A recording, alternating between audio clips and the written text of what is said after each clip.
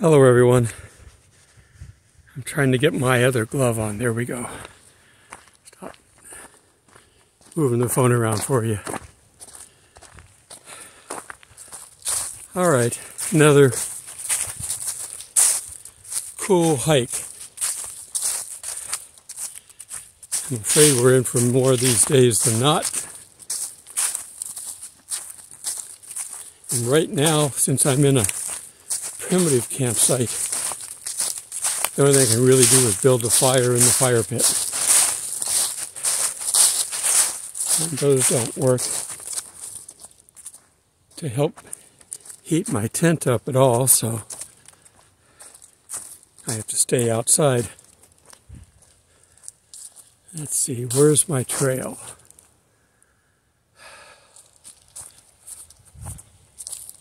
So many leaves down, it's hard to see where the trail is. I think this is it. Close enough anyway, I can see where I'm going. All right, for today, you've heard it said that you need to be filled by the Spirit.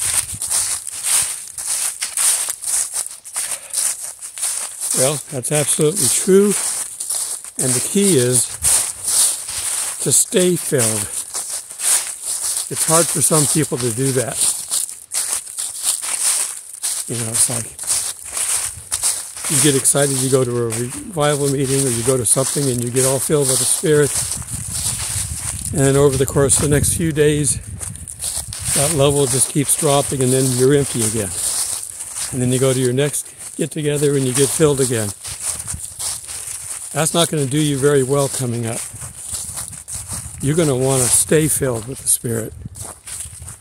Whatever it takes, whatever you have to do, you need to stay filled with the Spirit because you can't let your guard down. You want the protection from the armor of God? Staying filled with the Spirit is the best way to implement all that. If you grieve the Spirit or you quench the Spirit, like you can you can be a Christian and be completely with your back turned to God. Don't expect him to do as much for you as someone who's staying filled with the Spirit. You can't lose your salvation. But I guarantee you, Spirit's not going to let you live in sin for very long. May let you live in it long enough so that you regret doing it, and then he'll save you. He's not going to come and get you before you regret it.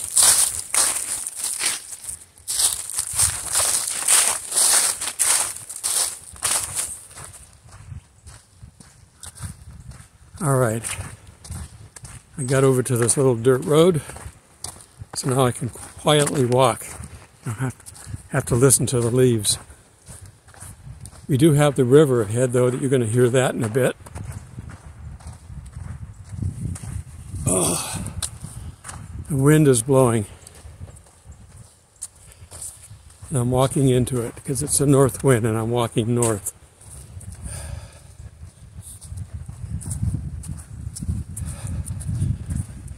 So, what do you do to stay filled with the Spirit? Well, real easy. You try to be as sin free as possible. Now, we know it's difficult. We've all got our temptation that we can sin in. And we can't get rid of our sin nature. So, put it in the form of living water that Jesus talked about, you have to just keep going back to the well. Catch yourself sitting, stop, repent, ask for forgiveness, and move back on to the path again. Rinse and repeat. You have to do it a hundred times a day. Do it. You want to stay filled with the Spirit. As the world gets tougher, and it will. You know, I think we just averted World War III with the Poland rocket thing. But that just shows you how close we are. Something like that. A lot of warships so close to each other out in sea. A lot of airplanes flying over airspace. They're getting close to it. Wouldn't take much for someone to push the button. I got the sun behind me again. I like my uh, movies again, and I'll use another movie reference. We have our The Day of the Year Stood Still. When the spaceship lands and the alien gets off, everybody's standing around with their weapons pointing at him. First off, never point a weapon at anybody unless you intend to kill or to harm. That's the number one safety rule. Every gun is loaded would be another safety rule. But never point it at something you don't intend to kill.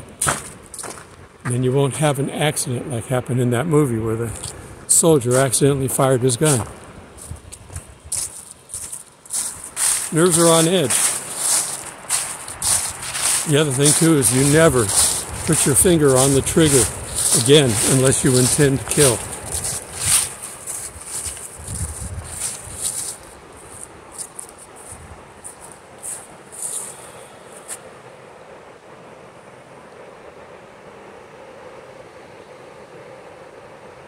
It's interesting how this river can be so smooth and calm and all of a sudden hit rapids like this.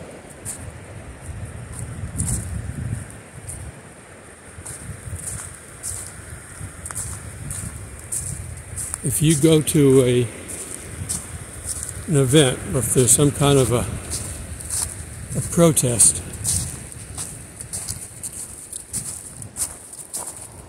there have been more protests for bad than for good lately, but if you go to any one of them, the opposing side might do something that gets them into trouble. So be aware of that. As things get tougher and tougher, don't take the law into your own hands. That never comes out good.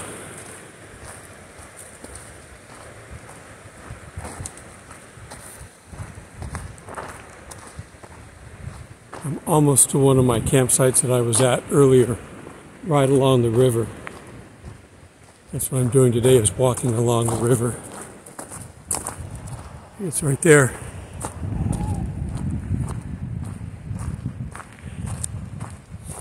I got a map of their trails here.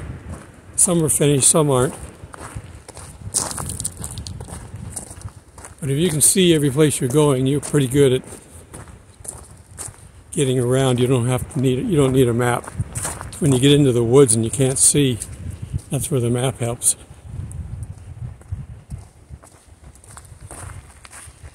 Doesn't do any good to leave breadcrumbs either. Well, the wildlife might appreciate it, but it won't get you home. You don't have to tie ribbons onto trees. They've already done that because this is a county park and state parks do the same thing. They paint the trees or they put up metal placards or whatever and you've got signs. Never have to worry about getting lost.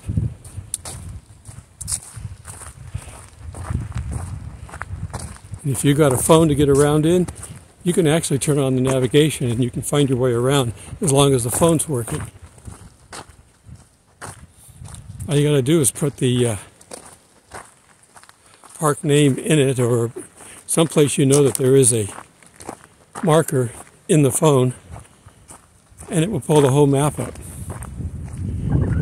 You don't have to set a goal to walk to a certain place. All you got to do is to walk and watch yourself on the map.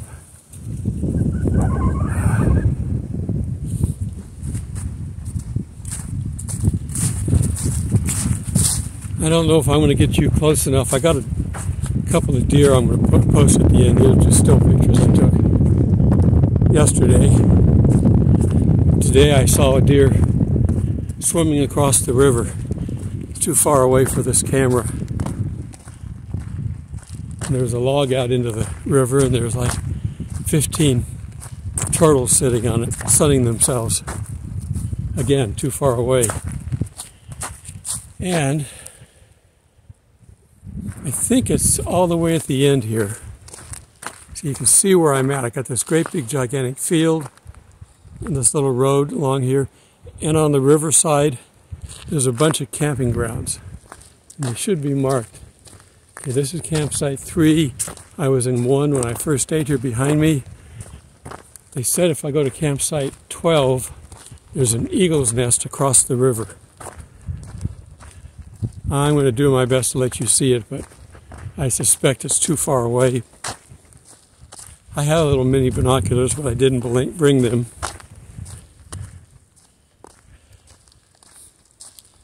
But anyhow, when things start happening, you want to keep popping off that spirit.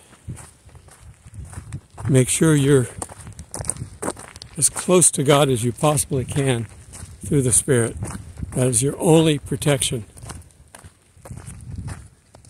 Satan's not going to try to protect you, he's going to try to kill you. And he's got a lot of friends down here. We don't have to worry about the Antichrist because we'll be getting out of here about the time he shows up. We're not sure of the exact timing of all the events starting things. We got the Magog War we got the Antichrist showing up. Or we have Satan showing up first, then the Antichrist. If you use the Revelation 12 sign and Satan coming down.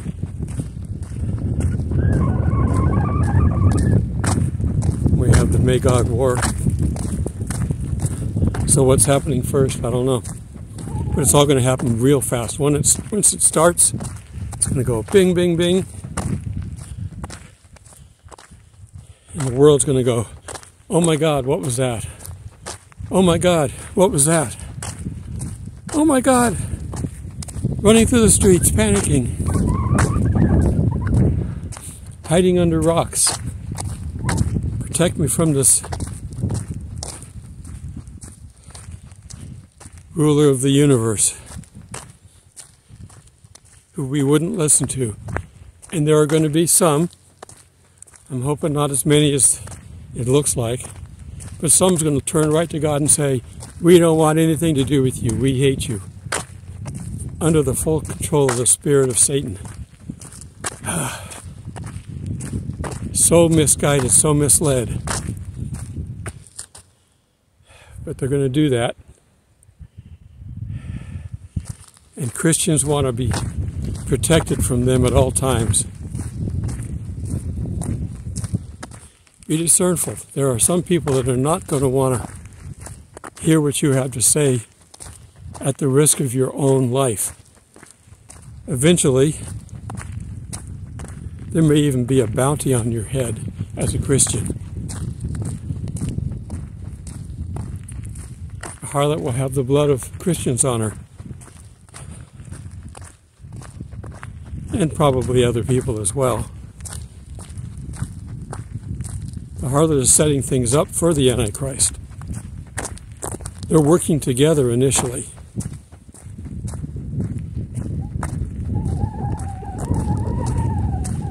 He'll be one of the leaders as we get into this, and then he's gone, and then he's back again. When he gets killed, and then he gets resurrected. So he'll be definitely part of all this. But we won't be here to put up with that. But your friends that get left behind, make sure they know.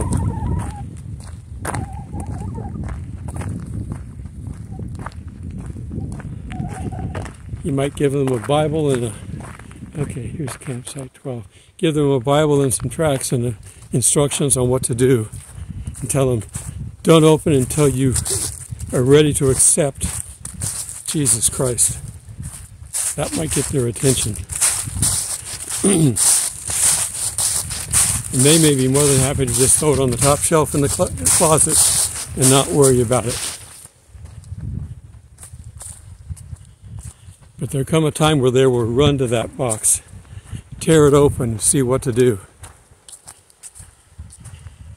Okay.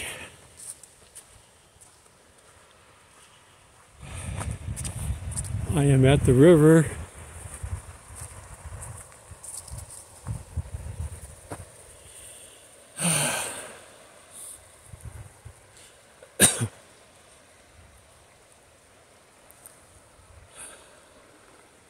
Let's see if you can see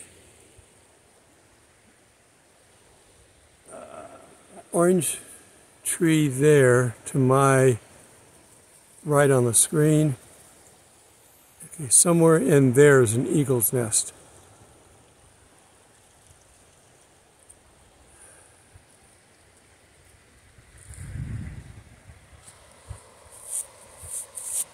I may stop this and turn it around. Haven't gotten to a store yet to get a new selfie stick. I hate driving into town.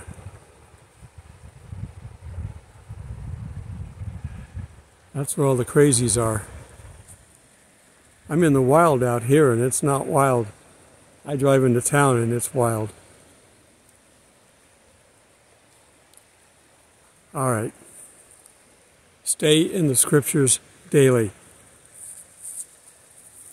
If you want to do a formal Bible study, that's great. If you're doing one at church and you've got homework, do that. Don't come unprepared. But don't go through your day unprepared. Pray in the morning, pray throughout the day, pray without ceasing, it says, but have a good formal prayer in the morning, one in the evening to wind up the day, and throughout the day. Read the scriptures. Work on a memory verse. Don't take this lightly. This is not going to be a game. This is not going to be something fun for the world to go through, you're going to have to be in it just a tiny little bit. But if you're not prepared, it might affect you more than you would like. Talk to Jesus every day. If nothing more, he would enjoy it. He wants to hear us. He loves us. For those of you that have kids that have gone off and you don't hear from them, imagine what it's like when they call. Now, multiply that by a million and you got God. Okay, I'm going to shoot some bee footage around here as I walk around. I'll tack it at the end. This is my moving day video. And then I'll be at my new campsite, which just so happens is right on the other side of this river. It's in a little ways, but that's where I'm going. All right, get my glove off. Till we meet in the clouds. God bless. All right, somewhere over there is the eagle's nest. I don't see any movement. I think it's in that tree right in the center of the screen right now. I'm still looking, but I don't see any other movement.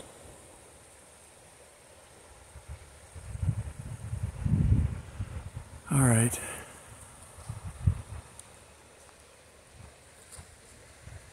The main rapids are still up that way. There's a few here. So I keep walking through the park. The way this park works is every time you see a table, trash can, and fire pit, that's a campsite. Now, I'm in a spot currently that doesn't have that.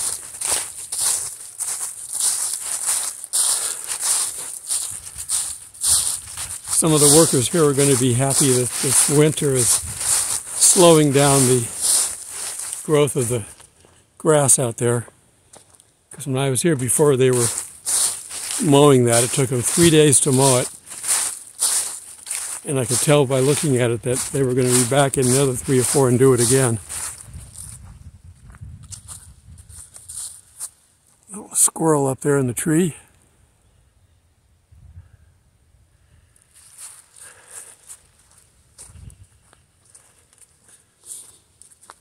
I'm still surprised that I don't see deer. Deer vegetarians. They do eat berries and that, but they eat grass. And you'd think I'd see some out there eating, maybe even sunning themselves. But I've never seen deer there now. I've seen six deer in the last two days, but I've been moving. In my car, I've seen five of them. One of them I saw on the trail. If you're into horseback riding, there's places and trails for, for you guys as well.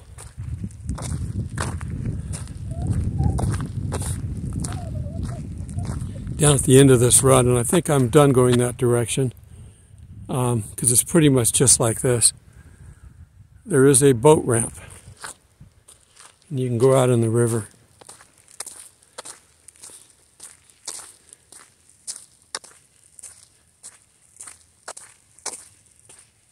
You can see a little ways. I can look across there and see a little ways into the woods.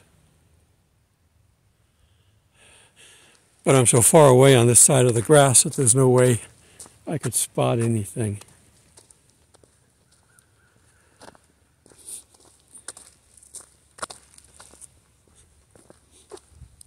So the sun is up quite a bit. It's got to be maybe 11 o'clock.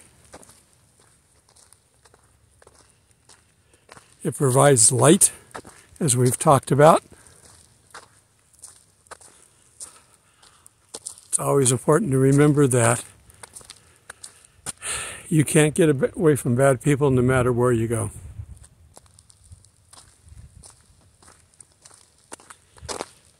but it provides light. Almost got hit on the head by a walnut. This is where I showed you some of the walnuts from before. But it also provides warmth. We would not be alive if we didn't have that sun. And whether you spell it S-U-N or S-O-N, we need that light. you can feel good by just feeling the light. I'm in kind of the shadows right now, going through the trees, and I can feel that cold air on the back of my head. Yet I walk into the sun and I kind of forget about it. That's the way Jesus is. You got His light in you and shining around, you forget about what's going on around you. All right. That's probably enough. If you're still here, thanks for sticking it out. We'll see you in the next video. Blessings.